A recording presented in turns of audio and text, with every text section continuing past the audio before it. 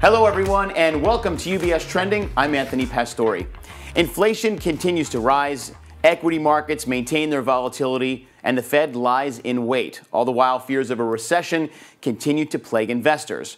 So, are there any signs out there of economic normalization or are we seeing signals of an economic decline? Well, joining me now to discuss this is Jason Draho, the head of Tactical Asset Allocation Americas for the Chief Investment Office. Jason, always nice to have you here on the show. Thanks for joining us. Great to be here, Anthony. So, I, clearly, there's a lot to talk about. We are all concerned about re- inflation uh, as you know. As we look at the markets, we see what's happening out there with prices. The war in Ukraine continues. That's also adding to pressures. But recession, the word recession is being thrown around quite a bit. Um, and the fears of recession are growing every day. S- most specifically, we just saw the consumer price index come out 8.5%, which was widely expected by economists and our own chief investment office here where you are. But that's the highest in over 40 years since late 1981. Why is that the case? What's going on here? So with inflation overall, like you know, and, the, and why it sort of rose in March versus February, higher gas prices, right? Like we knew inflation would sort of peak around this time. The extra increase from 7.9% in February to 8.5 in March was because of gas. We know how much oil jumped, like 20% because of the war in, in Ukraine. Mm-hmm. You know, there's other factors that are going on in the economy that's kind of lifted inflation higher. I think what's kind of positive, and why the markets actually reacted initially positively to the inflation print, was that it looks like it's the peak. And so this is where, like, if you look at sort of the details and you break it down in terms of like different prices, from used cars prices, they're actually now starting to decline. You're seeing like rental prices or rental rates for apartments sort of you know very high. They're coming down to more sort of reasonable levels. If you look at the price of different durable goods on a month over month basis, those are actually only kind of zero, they're flat. Mm-hmm. Year over year, it's still positive, but if you think about the momentum, that momentum is coming down. So I think that's why inflation is high likely at its peak and likely trending lower from there. Yeah. It, but it's interesting because we're talking about the potential of a recession, and you wrote in a recent blog that uh, this survey of institutional investors found that 60% of them are expecting a, a recession. Um, that's not the case here in CIO, but you look at, and clearly we know the, def, the definition, I should say, what if you've taken a finance class or an economics class, it's two consecutive quarters of negative GDP, which we haven't seen since last year. So it doesn't seem likely that we're going to have a recession in the next year, six to 12 months or so. What, what are your thoughts on that? So I think the it almost feels like it's becoming consensus among investors that a recession would start you know, this year or at least by the end of 2023. And so 60% is sort of like a bit of arbitrary, but mm-hmm. definitely there's a lot of sort of bearishness that's really picked up in the past, you know, I'd say even two or three weeks.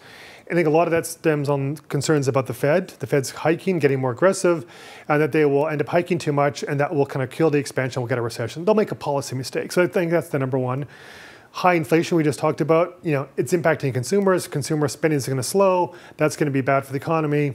Again, sort of recession risk. There's also reports of like you know trucking you know activity slowing down. You've seen trucking rates decline. A freight recession is being sort of tossed around. So this is I think you add this all up. This is why people are pessimistic. When you actually look at the data, and like you can look at sort of you know a broad swath of data, it's hard to think based on what you can see for consumers, you know, income growth, balance sheets, productive activity in the economy, that a recession in the next 12 months is likely. You know, most kind of recession prediction models, which are kind of quantitative based on a lot of data, put it less than probably 10% in the next 12 months. But if you go out from 12 to 24 months, then that probability goes up to say like 35%. So that's kind of roughly in line our view. Like we're saying maybe like a 25% chance of a recession happening in the next year or so.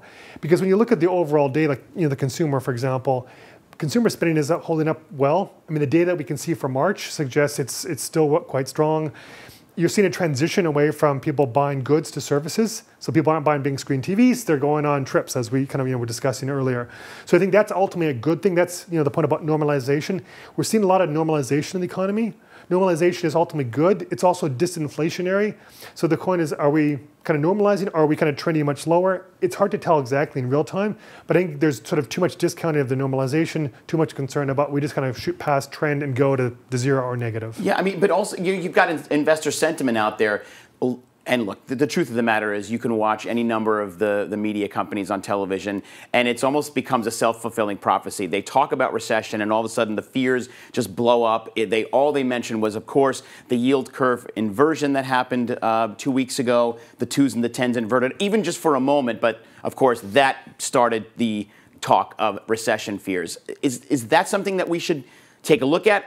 But clearly it seems to be more than just a few items that will contribute to something like that. So, you know, like take the yield curve, right? People sort of point to it. There was the, the what people look at is the difference between the 10-year yield and the two-year yield.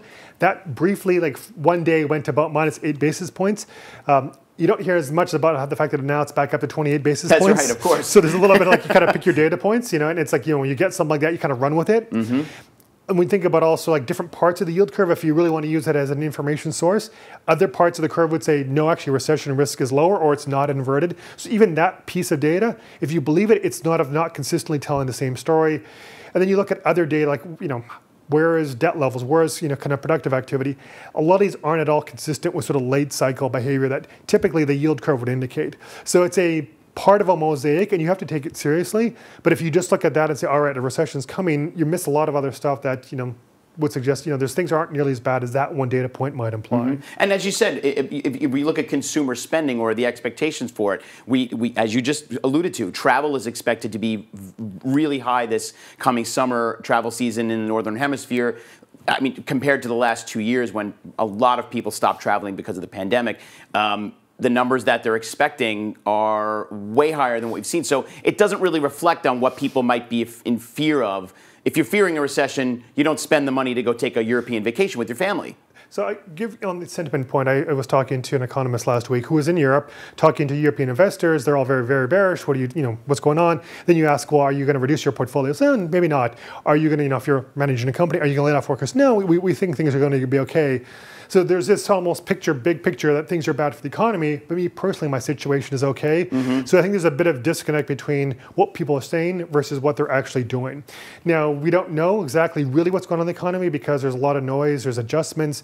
Uh, you know, the, the, whole thing about assessing where we are in the economies, we've had essentially two years of extreme distortions caused by the pandemic. I mean, our consumption patterns shifted dramatically in ways that you know they don't normally shift in, a, in an economic cycle. We've had supply disruptions, things are kind of getting back to normal. Like people are kind of going out and living their lives more mm-hmm. and more. Some of these supply bottlenecks are easing. So after these extreme distortions, we need to kind of normalize to whatever post-pandemic reality is. But it causes extreme movements one way or another, like prices overshoot, you know, like auto prices. Lumber prices shot last year, now they're actually falling. So you're seeing sort of the market work prices work, you know, prices go up, it induces more supply, it curtails demand. That's good, but it takes time for this to happen. Sure. So as this is going on, I think it's a positive, but it's also hard to read are things slowing much more, or is it just shifting back to something normal? And you know, six months from now we'll have more clarity. Of right course. now, it's hard to say. Where's that crystal ball when you need it, right, exactly. Jason? And look, also you've got probably a lot of folks out there who are using their credit cards, like both of us are, have a lot of airline miles and vacation points that are just sitting idly by, and they're looking to use them for this summer because they've been holding on to them and accumulating for two years with no travel. So let me get back to inflation with you for a second. So if we do indeed see inflation start to taper as we get towards the back half of the year, obviously there's a lot of uncertainty with the war in Ukraine and other factors.